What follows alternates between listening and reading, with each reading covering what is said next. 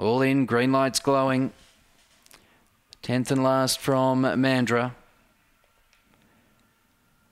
Racing, just send it began fairly and now zooms through and takes the lead from Breaker Upper. Out wide is Major Pursuit. In trouble, Starlight Guess. Well back is Sheriff Max, Royce Manelli and Iconic Fun. Leader just send it three in front of Breaker Upper. Then Royce Manelli and Major Pursuit, but just send it broke clear. Just send it's going to win the last by about six lengths. Breaker Upper second, third Royce Manelli, fourth Major Pursuit.